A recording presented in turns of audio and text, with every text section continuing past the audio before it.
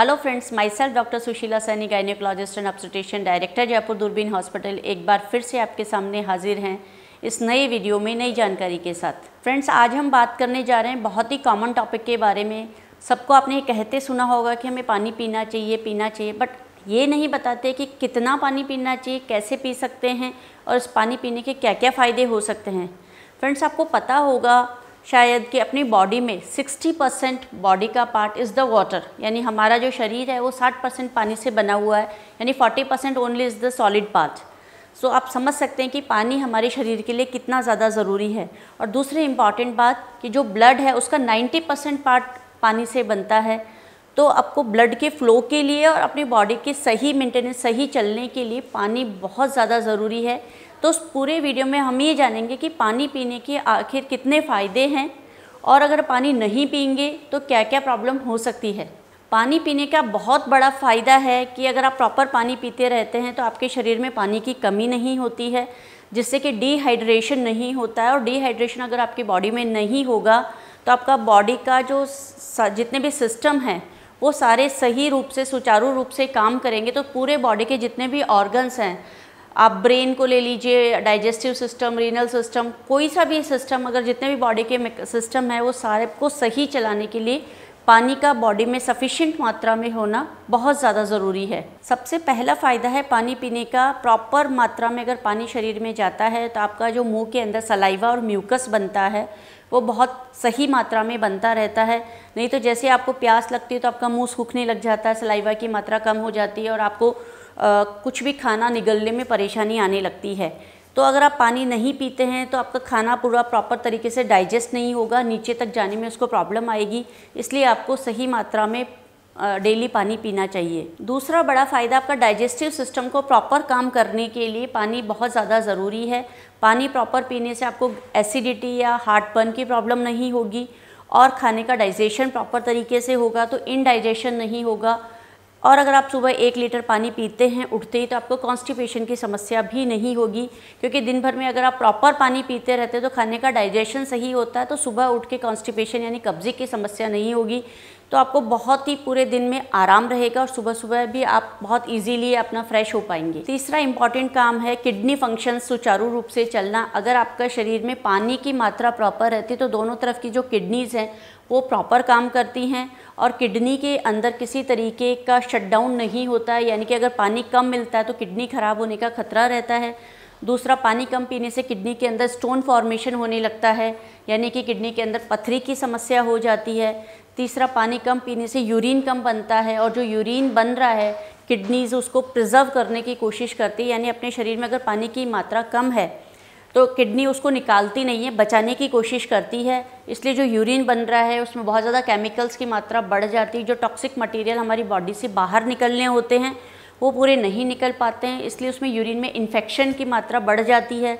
तो पानी कम पीने से पथरी हो सकती है, यूटीआई हो सकता है किडनी को ख़राब होने का खतरा बढ़ जाता है। तो आप समझ सकते हैं कि पानी नहीं पीना कितना नुकसानदेह हो सकता है आपके लिए। लेकिन अगर यही पानी अगर प्रॉपर तरीके से पूरा अमाउंट में आप पीते हैं तो आपका किडनी का फ़ंक्शन बहुत अच्छा होगा यूरिन की मात्रा अच्छी बनेगी, जिससे कि बॉडी में जितने भी टॉक्सिक मटेरियल हैं, वो पूरे शरीर से बाहर निकल जाएँगे।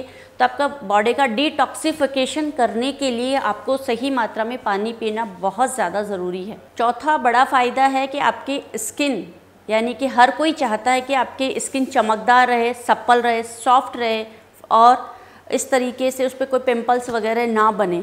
लेकिन अगर आप पानी कम पीते हैं तो ये सारी समस्याएँ आपको हो सकती हैं। तो अगर एडिक्वेट हाइड्रेशन आपकी बॉडी में रहेगा तो आपकी स्किन सपल होगी, यानी अच्छे से मूवमेंट करेगी शाइनिंग होगी रेडिएंट स्किन होगी पिंपल्स नहीं आएँगे।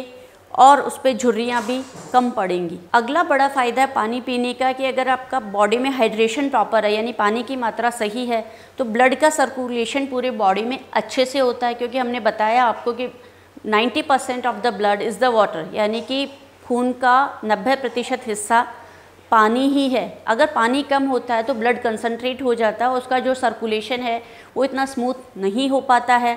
जिसकी वजह से पूरी बॉडी में ऑक्सीजन और न्यूट्रिशन प्रॉपर तरीके से डिलीवर नहीं हो पाता है।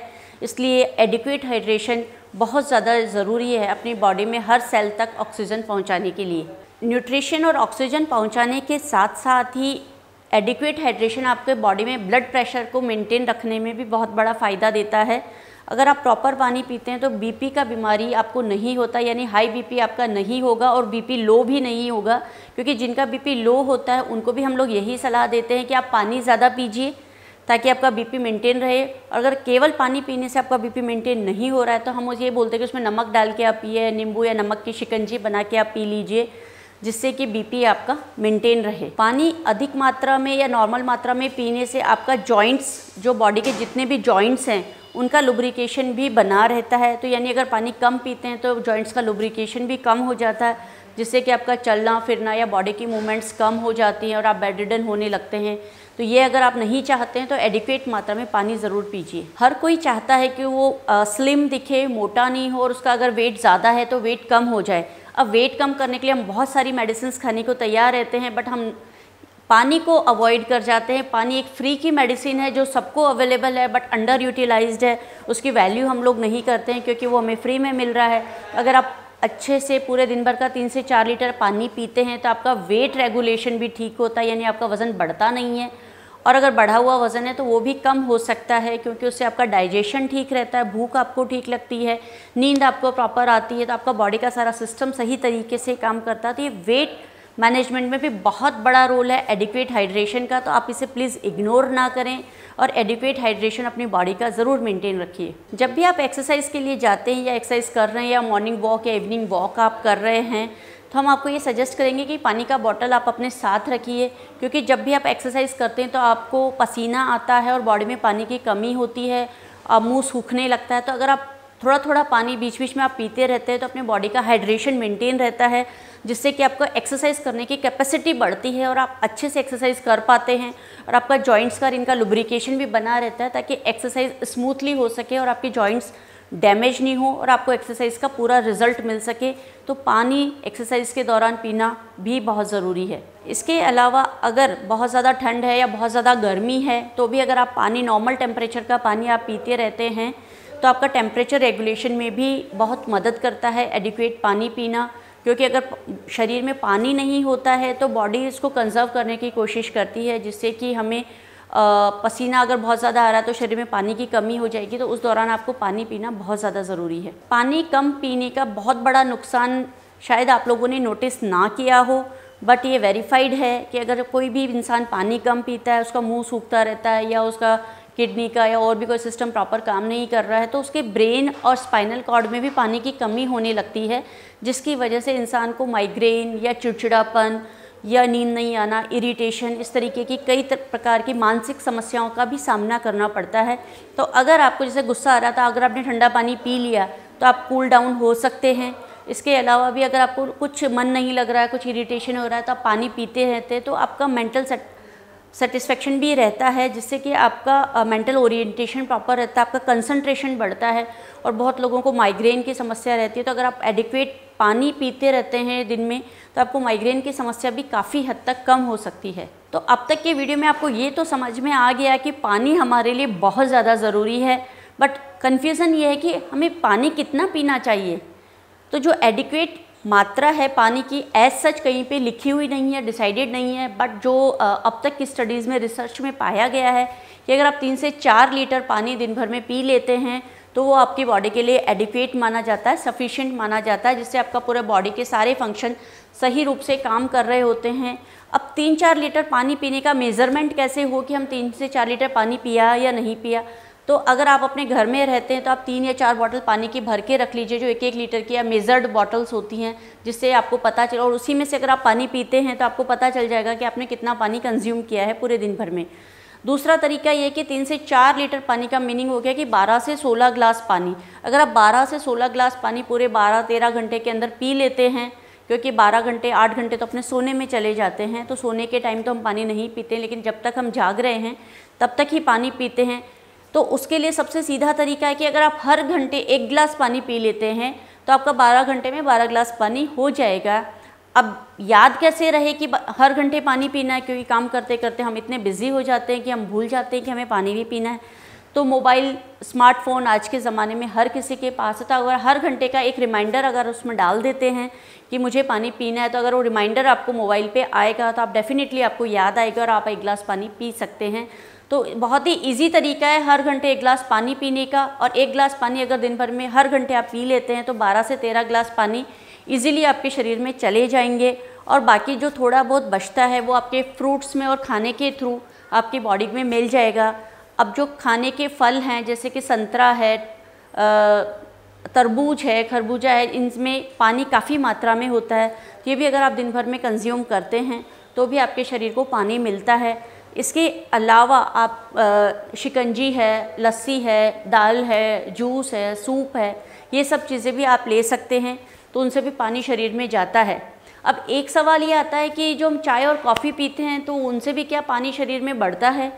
बट ये थोड़ा कॉन्ट्राडिक्ट्री है, क्योंकि चाय और कॉफ़ी डाई यूरेटिक होते हैं। डाई यूरेटिक का मीनिंग होता है कि शरीर से पानी निकालते हैं, क्योंकि ये इंड्यूस करते हैं ज़्यादा यूरिन का आना। इसलिए इनको, चाय और कॉफ़ी को लिक्विड की उस कैटेगरी में नहीं रखा जाता कि ये हमारे शरीर में पानी बढ़ा रहे हैं।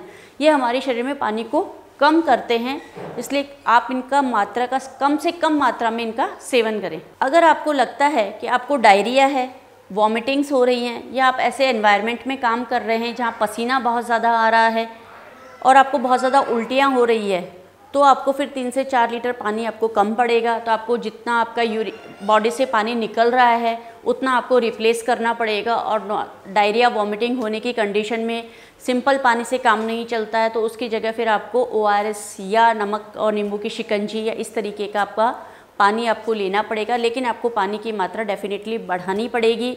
और अगर आप गर्म एनवायरनमेंट में रहते हैं और आपको पसीना बहुत ज़्यादा आता है तो भी आपको पानी की मात्रा बढ़ानी पड़ेगी। अब एक सबसे आखिरी सवाल कि आखिर आपको पता कैसे लगेगा कि आप एडिक्वेट वाटर यानी कि अच्छी मात्रा में पानी ले रहे हैं या नहीं ले रहे हैं?